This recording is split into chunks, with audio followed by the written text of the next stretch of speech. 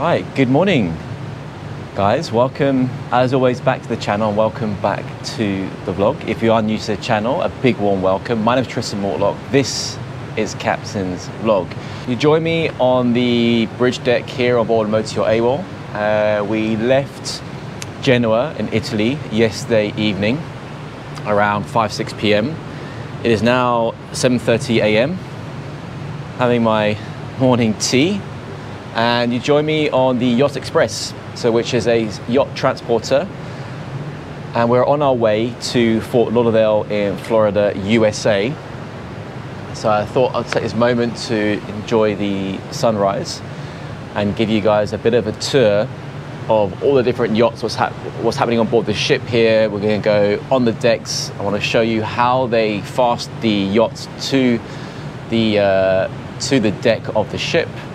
I'll quickly show you what I'm talking about here, in case you don't know what I'm talking about. So we are on a yacht transporter.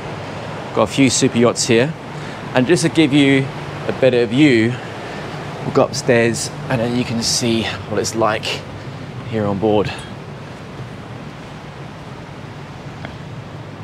There we have it. So there's about um, 12 motor yachts on board and about eight or nine tenders or chase boats. And a lot of questions I'm getting is why are we using a yacht transporter to cross to Fort Lauderdale rather than crossing on under our own steam?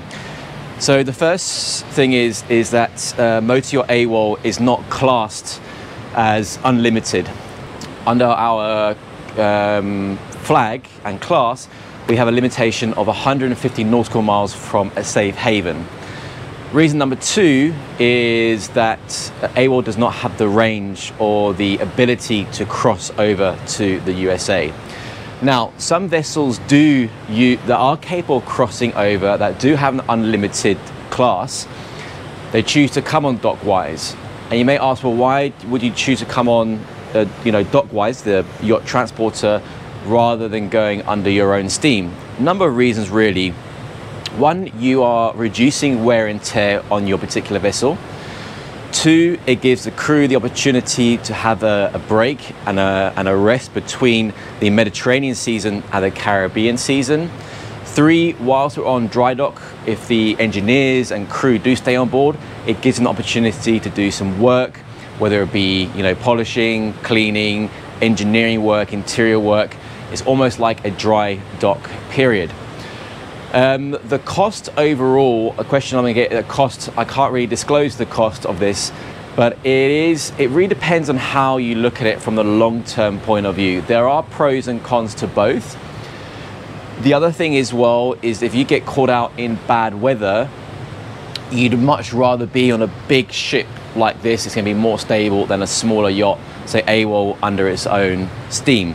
So before we go down on the deck, we're going to make our way to the superstructure of the ship, get a bit of internet, you know, check some uh, emails and messages, and then we'll head down to the decks and give you guys a bit of a tour.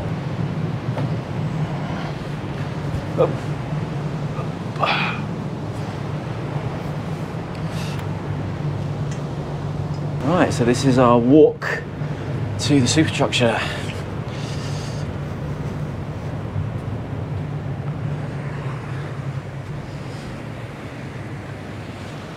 Look at that sunrise. Beautiful. All the yachts.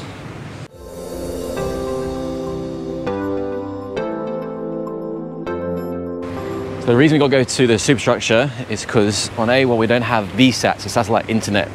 We only run a 4G SIM card, so if we're out of 4G range, which we are, uh, we don't get internet. So the ship has a VSAT system, so we just hook up to theirs and then we can get our um, emails and messages and whatnot.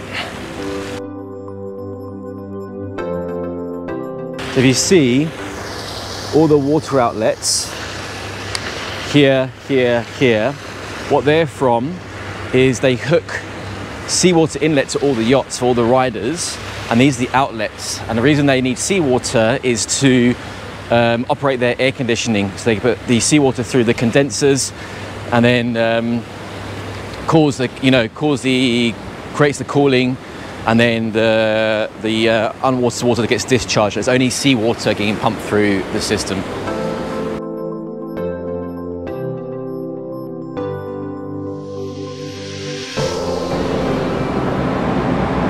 And there in the wild is the chef checking his messages. Morning, chef. Is it working the Wi-Fi or not?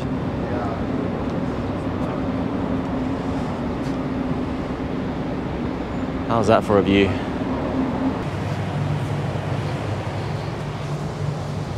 We're going to go to the uh, swim platform and then head down the ladder.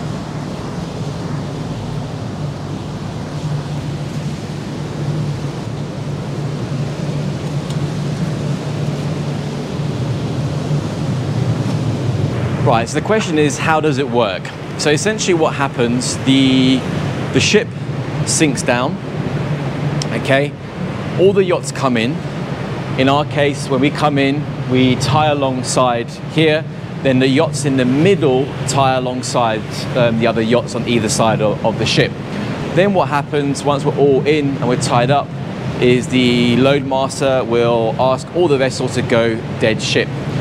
Once all vessels are dead ship, the divers then go down and you can see they start putting all the keel blocks in place. They've got wooden blocks all the way along the keel which will support the structure of the yachts, strength of the yachts.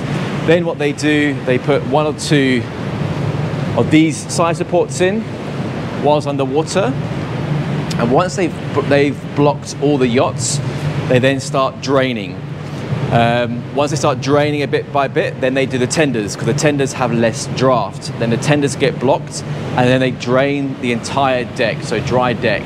From there, what happens then is then they start all the welding process. So they put all the supports which are in place. You can see they've welded here to the deck. And that's for all the vessels. It's a lot of welds.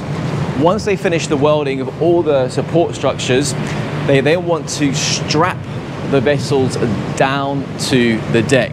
So you can see additionally they put welds on these D-rings and they strap it to the, the, the cleats or the bits of the yacht. So that secures all the vessels in place.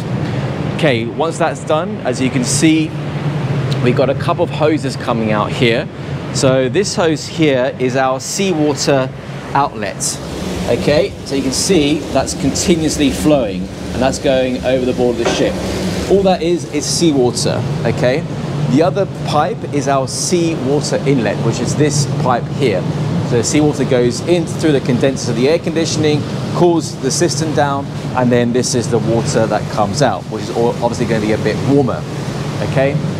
Here we have our black and grey pipe, which is, you know, uh, so grey water is essentially like shower water, dishwasher, washing machine water, and that goes over the side as well. Black water is essentially sewage, okay?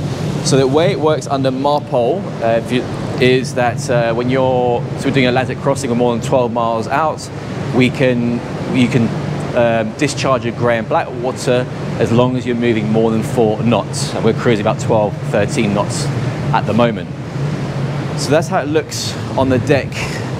Give you guys a bit more of a tour. Walk uh, around here so you can see a bit more what it's like here. It's like a maze actually. See all the welds. the vessels are nicely secure here. And on the bow you see all the keel blocks now show you where we connect our seawater inlet from. So this is the main seawater. So the ship has a pump and it'll pump the seawater from the sea through this valve here into this divider here, which splits up. We've got well two connected. One is ours, one is another vessel's.